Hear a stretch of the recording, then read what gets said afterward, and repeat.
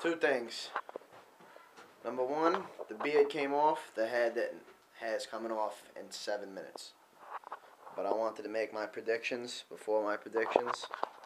All Formzy.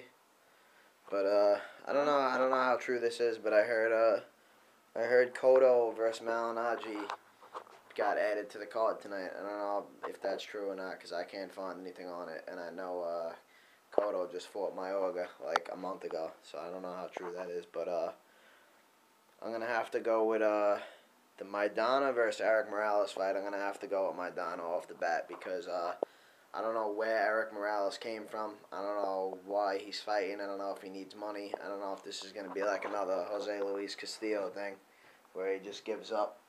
But I don't know. Wait, He, Erik Morales? yeah, Old Erik Morales is fighting tonight.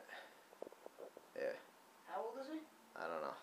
It's not even a matter of how old he is. He just hasn't fought in how long. You know what I'm saying? And he's fighting Maidana. Maidana doesn't give up. I seen fucking Maidana and uh, Amir Khan had a sick fight. Maidana doesn't give up, and if he catches you, could be a wrap for you. So I'm gonna have to go with Maidana on that one. I'm gonna actually go with Maidana by uh, knockout or TKO, or whatever.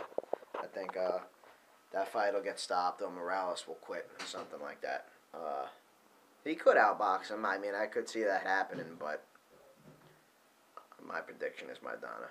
Uh, Katsidis and Guerrero, I, I don't, I don't really know. Uh, I'm, not gonna lie, I don't really know too much about the dude Guerrero, so uh, it's kind of tough for me to make like a valid prediction on that. Um, not gonna really, not gonna really say much about that one. I heard. Uh, I also heard Winky Wright is fighting tonight. Uh, I don't know what the deal with. I don't know if that's true or not. I'm hearing a bunch of shit, and I really can't find any information. I've been running around all day doing shit, so I really don't even know what the hell's going on. Just wanted to make my main prediction for uh, Maidana versus uh, Morales, and I wanted to make sure that everybody could see this out of fucking control shit. It's about to come off in about five minutes. Time to check the Masters. I actually have to roll out right now to get it chopped. So say goodbye. It's been eight months.